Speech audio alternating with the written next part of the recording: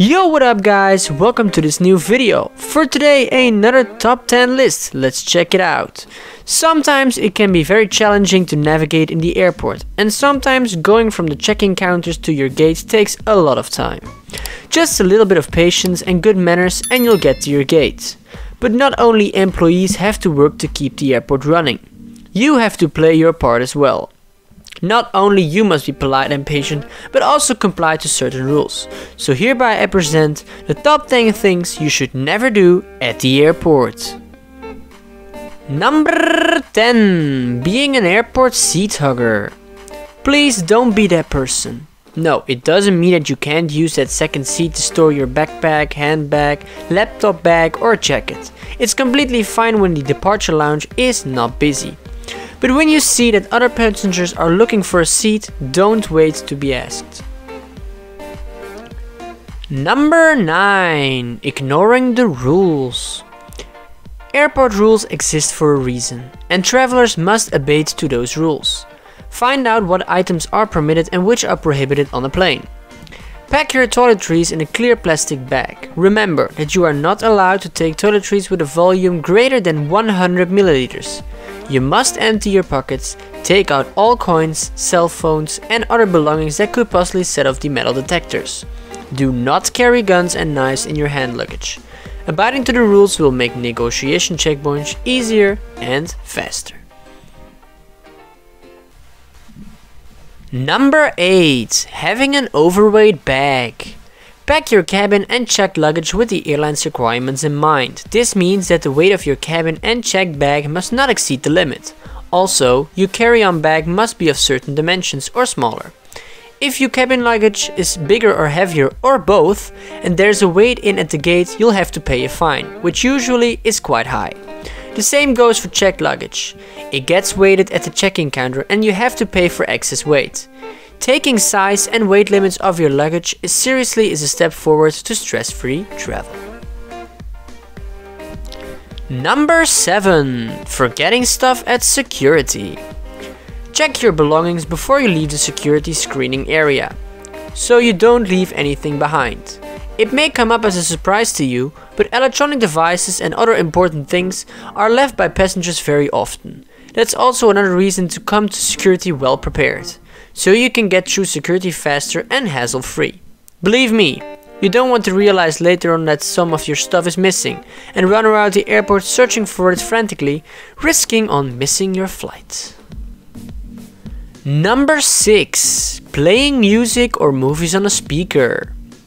Ugh. It does not matter how good your music or movie is. Believe me, nobody else wants to hear it.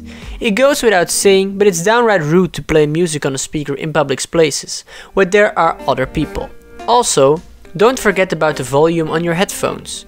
Make sure you don't disturb passengers sitting next to you in case they want to take a nap.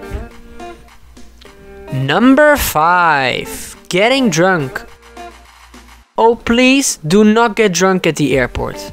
Not only will it dehydrate you, but also can get you in trouble. What kind of trouble exactly? Well, you could be denied boarding, or even worse, your name can be placed on the airline's blacklist. This means you won't be able to fly with this airline ever again. Why such harsh measures? It's simple. Because it's not fair to other passengers to be stuck with a drunk person at 30,000 feet. Not a great start of a vacation, huh? Also, allowing a drunk passenger on the plane is very dangerous, as he can act aggressively and be a threat to other passengers.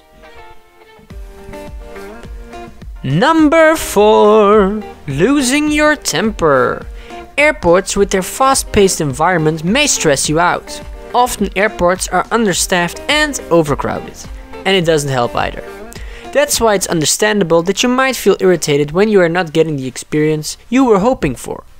But you must not lose your cool no matter what. It will produce the opposite effect of what you had in mind. In fact, you may get into serious trouble. Number 3. Leaving your belongings unattended. Don't do it. Do not leave your belongings unattended, even if it is for a short period of time. For an example, if you have a visit to the bathroom. Any unattended baggage will be removed by the airport police. Always take your bags with you, no matter what. Number 2. Holding up the security line. Come to the security check prepared. Put all of your liquids in a clear Ziploc bag. Keep your electronic devices separate from the rest of your stuff. This will speed things up at the security check. Also, do what you are asked to do. If a security officer asks you to remove your shoes, do it. If you are asked to take off your coat, do it. Do not argue. It will just make the things worse for everyone. Number 1. Showing up late. You have to be at the airport in time in order to be in time for your flight. Sometimes there are no queues, you get through airport security fast and everything happens very smoothly. But sometimes it doesn't. You never know how long it will take you today you, to get from the check-in desk to your gate. That's why it's recommended to be at the airport at least 2 hours before departure. In some airports and for some flights, even 3 hours before departure. Mostly you can learn this from your booking confirmation mail. Be on time, or otherwise you may miss your flight. It will not only be stressful for you, but also for the other people at the airport. You'll only make the travel experience worse for the flight crew as well as the other passengers. Don't be that person. And here we are at the end of our video. I hope you can use these valuable tips on your next trip so you don't do anything stupid at the airport. I want to thank you all for watching our video. If you haven't seen enough, you can see all the other stuff about our top 10 lists or maybe our vlogs or anything you want to see. For now, I want to thank you all for watching. I hope you press that like button and press the subscribe button and I'm gonna see you next time.